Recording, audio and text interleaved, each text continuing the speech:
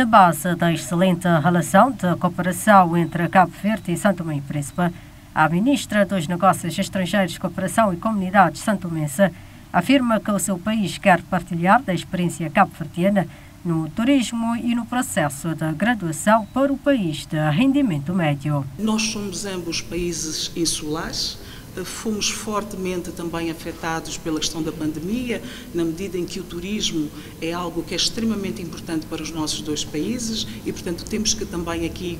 eh, beber da experiência que Cabo Verde tem eh, na matéria do turismo e, portanto, viemos aqui também para falar sobre isso e depois também temos que vir aqui para conversar com Cabo Verde sobre a questão da graduação.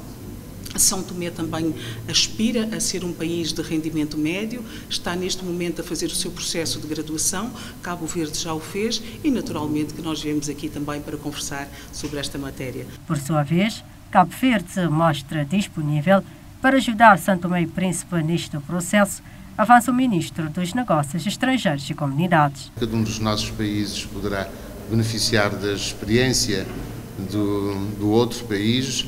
e teremos também este, reforçar este diálogo político entre Cabo Verde e Santo Tomé e Príncipe, por exemplo, na, na assistência que Cabo Verde poderá dar a Santo Tomé e Príncipe no processo de graduação a país de rendimento médio. A ministra São Tomense aproveitou uma vez mais a oportunidade para parabenizar Cabo Verde pelo trabalho desenvolvido durante a sua presidência da CPLP, considerando que o acordo de mobilidade alcançado é um legado extremamente importante deixou-nos um legado extremamente importante que foi o acordo da mobilidade. Estou em crer que é um acordo em que nós assinamos, em que nós escrevemos uma linha completamente diferente na história daquilo que é a CPLP. E dizer que também, embora o acordo tenha sido feito muito recentemente, mas do ponto de vista bilateral com Cabo Verde, nós já tínhamos também desenhado e gizado esta própria mobilidade. Esta governante destacou ainda a importância da comunidade cabo-verdiana em Santo Tomé e Príncipe, apontando que dos 220 mil santomenses,